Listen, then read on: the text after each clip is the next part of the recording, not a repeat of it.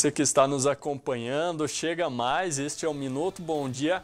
Hoje, quinta-feira, fim de semana se aproximando, a gente está ao vivo aqui pela TV Bom Dia, agora são 10 horas e 34 minutos. Lembrando para você que nos acompanha, é, você pode deixar o seu recado aqui, o seu bom dia, depois a gente manda um abraço para você, enfim, a todos que estão nos acompanhando. Deixe seu recadinho aqui, é sempre importante que você participe e faça a informação rodar aqui junto conosco. A gente já vai então para o site do Jornal Bom Dia. E entre os outros destaques aí do site está falando então é, que também está na coluna do Finard, saiu ontem inclusive no jornal, a informação então aqui que o Rio Grande do Sul termina em Passo Fundo. Essa é uma questão que o Finard escreveu lá em 2016, no segundo turno então para governador do estado, que ele disse então aí, né, é, comparando também o José Ivo Sartori com o atual governador o Eduardo Leite, justamente essa questão de que a gente não tem tanta representatividade de Passo Fundo para cá. Passo Fundo até a capital a gente tem, mas essa é uma questão, então, que também precisa ser vista aí, né? A gente vê que eh, quando não se tem representatividade na, na, nossa localidade aqui, principalmente do Alto Uruguai, os municípios carecem também de, de investimento. Então, é preciso buscar mais recursos aí, então, à frente dos parlamentares. Então, tá aí informação para você. 10 horas e 35 minutos, vamos agora conferir quais são os destaques do jornal impresso e digital do Bom Dia, então, para esta quinta-feira. Está na capa, então, uma informação bastante importante aí, falando sobre principalmente os prédios abandonados aqui no nosso município. Né? A nossa reportagem, o Alan Dias, é, foi conferir né, dois prédios que estão abandonados e uma situação dos moradores que preocupa bastante, principalmente é, na questão aí dos é, usuários de drogas, mas também de alguns jovens que vêm frequentando esses lugares, principalmente nos finais de semana, sábado e domingo, depois das 5 horas da tarde, é que a situação preocupa ainda mais, são pessoas que fazem festa no 13º andar, é de não acreditar na situação e os moradores ficam preocupados porque dali a pouco alguém pode cair de lá, né?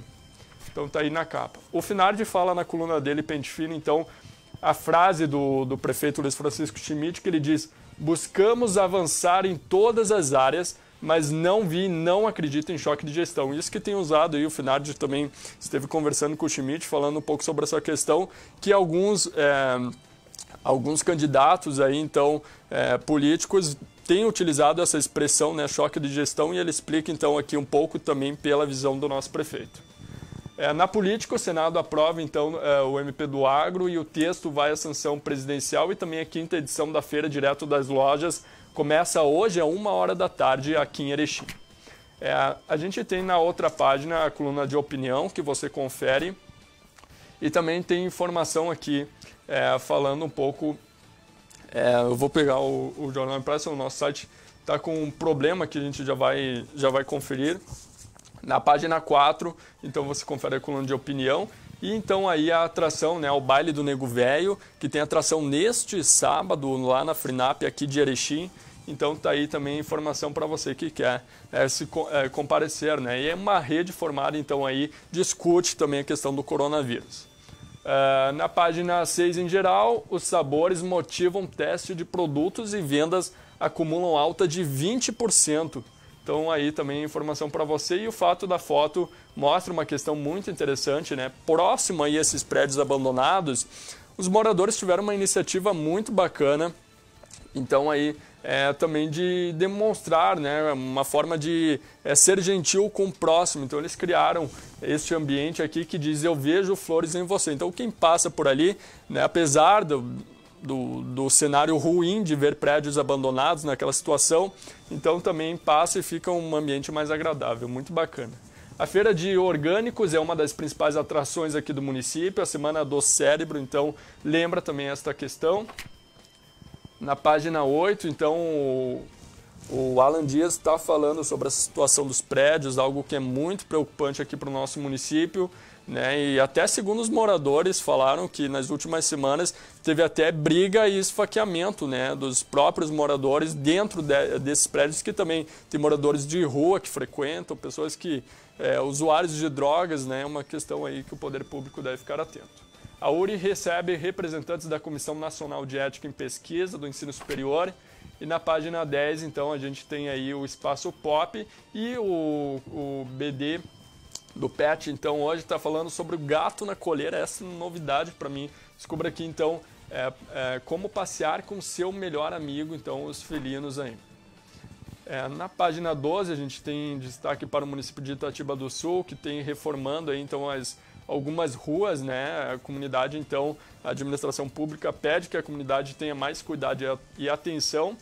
E também lá no município de Áurea, mais segurança e qualidade ao transitar. A gente tem destaque aqui então também para o Alto Uruguai, né, os jovens empreendedores é, da região que foram visitar então a Expo Direto, também mostrando é, o seu crescimento aí também é, na microempresas, né, e, enfim, agricultura familiar também está aqui em destaque. Arquitetura e construção vai falar hoje sobre a decoração, como usar a cor mostarda. E entre as, as, cores que combinam com essa cor mostarda está o preto, o azul, o rosa. Sabe então como fazer a combinação aí para sua casa. Temos classificados do Bom Dia e no geral da economia, o imposto de renda 2020. Então, para vocês saberem aí quais são é, a forma como você pode antecipar né, o cronograma de restituição. E também na segurança, campanha de abaixo assinado para construção de caso-abrigo aqui em Erechim, né, uma coisa aí, uma assunto bastante importante que trata então da violência contra a mulher. E o jovem que foi baleado então lá em Nonoai acabou morrendo, né, após 17 dias, então o que estava internado no hospital.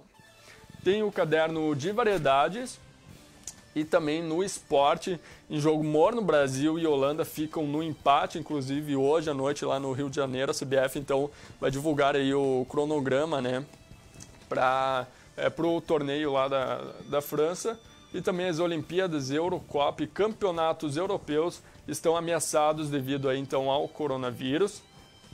Tem informação também na contracapa do Bom Dia, o Atlântico estreia com vitória, o Galo venceu de 4 a 1 então diante aí é do Pato, né? Jogou, esteve jogando ontem, né? Lá no, no Paraná.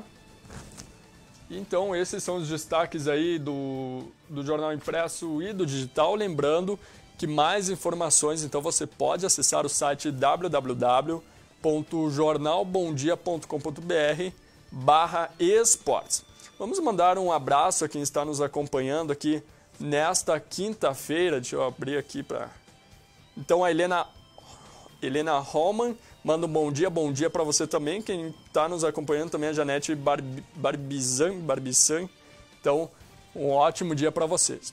Vamos agora conferir como é que fica o clima para hoje. Olha, hoje tem de ser um dia de muito calor novamente, né? Esta semana é, a gente viu pouca chuva e hoje também não tem previsão de chuva, então 0 milímetro de chuva, então predomínio de sol apenas com pouca variação de nuvens. A temperatura à noite pode chegar a 19 graus Celsius. Muito bem, então eu vou ficando por aqui hoje. Lembrando que ao meio-dia o Leandro Zanotto retorna no Bom Dia Notícias para dar mais informações para você de toda Erechim, da região do Alto Uruguai Gaúcho.